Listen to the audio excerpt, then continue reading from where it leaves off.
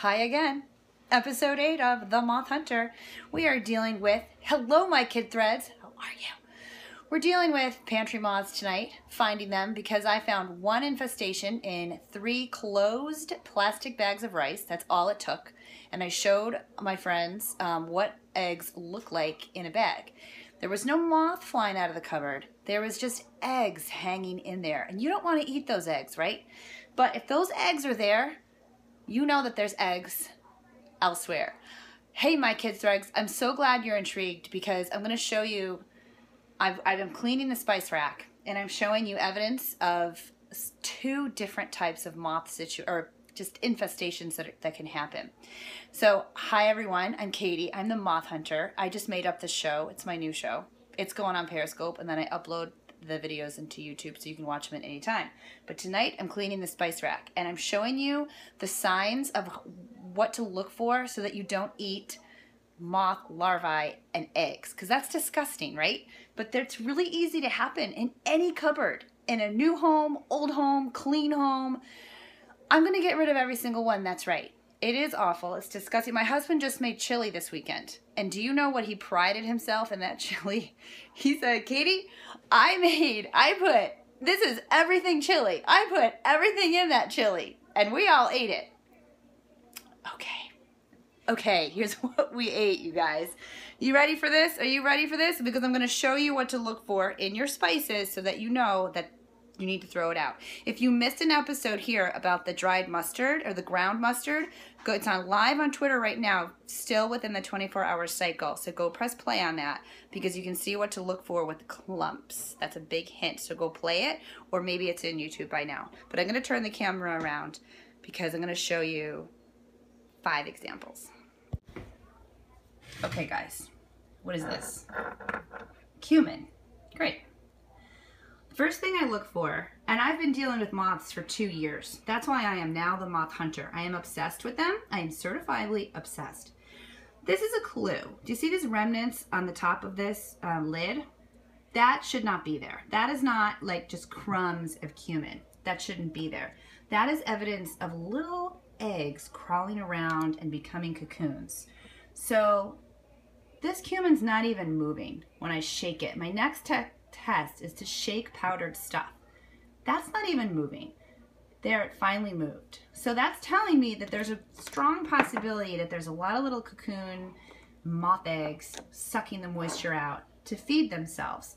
Also, there's an episode um, of uh, right now live on Periscope, go play it, about basil and how I show you a silk cocoon dropping down it's just one in there. Oh no, there's two actually. It shows you how they drop down on a piece of silk and eat one piece of basil at a time and just more of those eggs start doing that. Look guys, what's this? It's Nigerian cayenne. Okay, let's do the top of the th the top of the top test. Yep, it looks like there's stuff. Those are not crumbs. Eh, clear evidence. Holes. Now these are these are eaten by little cocoon larvae. It is not eaten by a flying moth. Flying moths means you are too late. Flying moths are not eating anymore. They're just laying eggs. And where do they lay eggs? In here. And then it's those little eggs that come out of their little egg and turn into larvae and a cocoon and everything disgusting. And they're the ones eating this stuff. So look at that. I'm doing my shake test. I can't even shake that because it's all like webbed. And that's another thing. It looks webbed deep down in there. See if you can see down in there. It's um dimensional. And it kind of looks like a spider web, but it's not. It's these cocoon larvae moving around. This is how they eat. It is disgusting. We are done. Trash. But I'm doing this because if you find one egg, if you find one situation like this, it's not the only one. Don't think that throwing this away, you're done, because you're not. Because look, I'm going to show you a couple minor examples, and then I'm going to get to the mother load with this guy. More, oh yeah, there's stuff in there. It's just suspect. It's got the powder, uh, the powdered coating on the inside. Those are not crumbs. Those are probably those egg webby things that they make. I am leaving that guy in the trash. What about this one? This one is my 10% rule.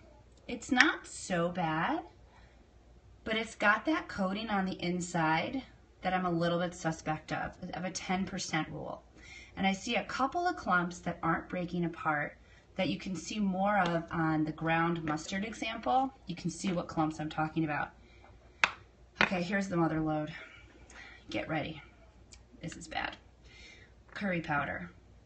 These are not uh, these are not what is happening in here are not moths, I don't think. I'm starting to research them. I think they're called some kind of a beetle. Do you see those black things? That is not curry powder. Those are nasty beetles. They're in there. I don't know why they travel with moths, but they do. So if you see these little beetle things, and they're actually, these are the ones, these little beetles look like um, helmets, like an army helmet. And they can be easily found walking around. They actually crawl up um, bottles of oil because there's a lot of sticky film on like your oil, your olive oils, especially if you keep them near the stove like I do. I mean, I keep them in a cupboard, but it's too close to the stove. All that food goes up here and it just coats all that. And then these little beetles, they're so weird. They, they crawl, they're, you know what, you know what they do. And you don't want them. So this has been the Moth Hunter showing you signs of what to look for for an infestation before they turn into flying moths. Because once they're flying moths, you're cooked. They're laying hundreds of eggs all over your house, your food, your clothes. Just one moth. One moth. Imagine if there was a lot of. So we look for signs. We're doing prevention. This is easy. This is Katie. I've been, I am the Moth Hunter. You can find these episodes on YouTube. I'll see you later. Bye. I'm going to keep going.